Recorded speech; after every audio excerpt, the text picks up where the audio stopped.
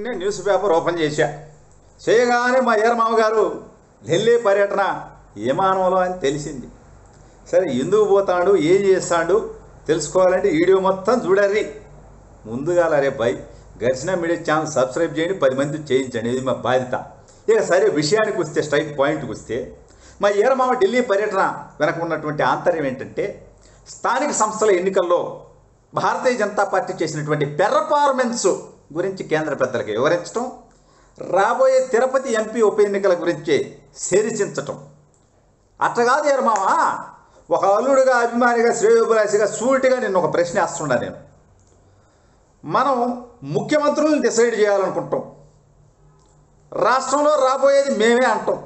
సరే వీటన్నిటికంటే ముందు తిరుపతి ఎంపీ దాకా పోయే ముందు మన తూర్పుగోదావరి జిల్లాలో నీ సొంత గ్రామంలో కనీసం భారతీయ జనతా పార్టీ నుంచి వార్డు మెంబర్ని గెలిపించిన మావా ఈ రాష్ట్రానికి భారతీయ జనతా పార్టీ అధ్యక్షుడిగా ఉన్నందుకు అని చెప్పి అల్లుడుగా అభిమానిగా శ్రేయోభిలాషిగా సూటిగా నేను ప్రశ్నిస్తుంటా.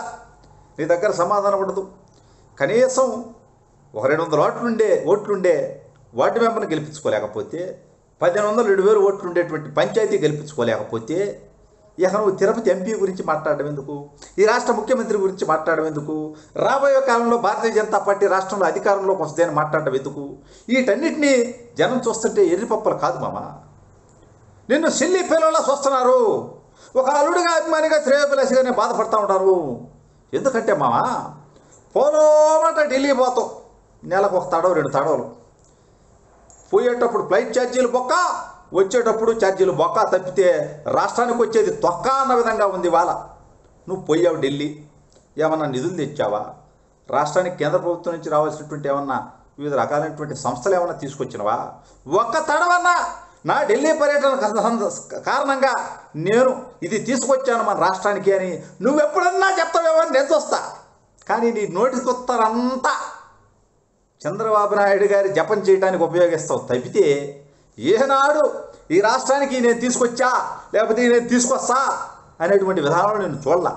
అట్లా కాదు మామ నువ్వు ఢిల్లీ పోతే మార్కెట్లో టాకే ఉందంటే మామ ఢిల్లీ పోతే ఆంధ్ర భవన్లో ఇడ్లీలోకి పల్లి చట్నీ బాగుంటుందా కొబ్బరి చట్నీ బాగుంటుందా అల్లం చట్నీ బాగుంటుందా ఆఖరికి మా నెల్లూరు ఎర్రగారం బాగుంటుందా అని కూడా నువ్వు టేస్ట్ చేస్తున్నావంట తప్పితే ఈ రాష్ట్రానికి ప్రత్యేక హోదా తీసుకొద్దారా అమరావతిని అభివృద్ధి చేద్దారా పోలవరం త్వరగా పూర్తి చేద్దామా Visakha railway zone తీసుకొద్దామా?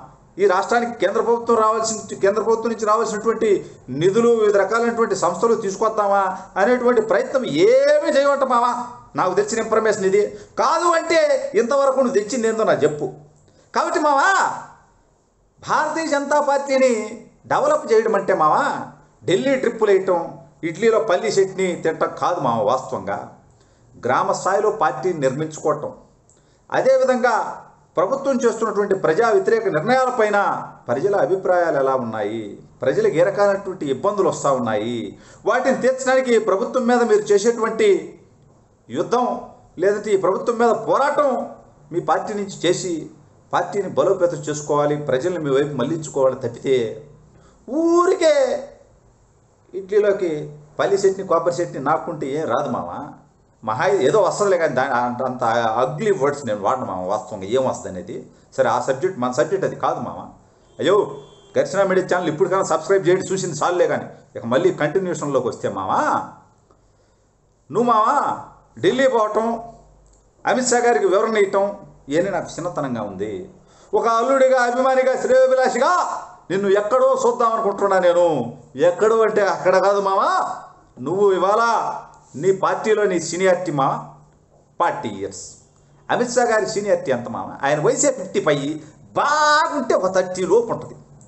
Thirty years industry వ్యక్తికి ఫార్టీ ఇయర్స్ ఇండస్ట్రీ వ్యక్తి వివరణ ఇయటం ఏంటి? ఈ అవమానకరమైనటువంటి పరిస్థితులు ఏంటి? ఆయన కేంద్ర హోంమంత్రిగా ఉండటం ఏంటి? నువ్వేమో రాష్ట్రంలో ఒక్క శాతం కూడా ఓటు లేనటువంటి పార్టీకి రాష్ట్ర అధ్యక్షుడిగా ఉండటం ఏంటి? నాకేం అర్థం కావట్లేదు మామ నిన్ను ప్రధానమంత్రిని చేద్దామనే ప్రయత్నం నేను చేద్దాం అనుకుంటుంటే నువ్వేమో వాళ్ళకి వీళ్ళకి నీకంటే జూనియర్స్ కూడా ఎవరిని ఇచ్చుకుంటా కూర్చుంటావు. ఒప్పం తప్ప ఏముంది అంట. స్థానిక సంస్థలు ఏం పర్ఫార్మెన్స్ ఉందో అని చెబుతూ నువ్వు? నాకు అర్థం కాలేదా? పట్టమని పది పంచాయతీలు గెలిచినారా? దాదాపు రాష్ట్రంలో వేలల్లో ఉన్నాయి కదా పంచాయతీలు. ఒక పది పంచాయతీలు గెలిస్తే గతంలో మనకు ఒకటి కూడా లేదు ఇప్పుడు పది తెచ్చిన అని చెప్పుకోవచ్చు మామ ఏముందని మామ నువ్వు చెప్పడానికి? ఢిల్లీకి పోయా అట్ట కాదు మామ నువ్వు ఢిల్లీలో మాట్లాడకపోతే యాజ అల్లుడుగా అభిమానిగా శ్రేయోభిలాషిగా నన్ను తీసుకపో. సరే అల్లుడు నాకే ఇబ్బందికరంగా ఉంది. ఫ్లైట్ ఛార్జీలు నన్ను ఆడబెట్టుకోమంటావు. ఏదన్నా ఒక రౌట్ ఉంటే నువ్వు చూడు అని అంటావా? దానికి కూడా నేను నేను అని ఎందుకు అంటా మామ నాకేమంత జల? నిన్ను ప్రధానమంత్రి చేయడానికి ఫ్లైట్ ఫ్లైట్ ఛార్జీలు నేను పెట్టుకోవాలనా? ఇవన్నీ కరెక్ట్ కాదు మావా. కాబట్టి నేను చెప్పేది ఏంటంటే మావా నీ ఢిల్లీ పర్యటనలో టైం వేస్ట్ వాళ్ళు కాకుండా లేకపోతే సొల్లు కబుర్లు చెప్పకుండా అక్కడికి వెళ్ళి భజన చేసి వాళ్ళ కాళ్ళు పట్టుకోకుండా లేకుంటే ప్యాకేజీల గురించి మాట్లాడుకోకుండా నువ్వు చేయాల్సిన పని ఒకటి ఉంది మామ ఢిల్లీ పర్యటన సందర్భంగా. అయ్యా ఆంధ్రప్రదేశ్ ప్రజలు విఘ్నులు తెలివైన వారు విద్యావంతులు.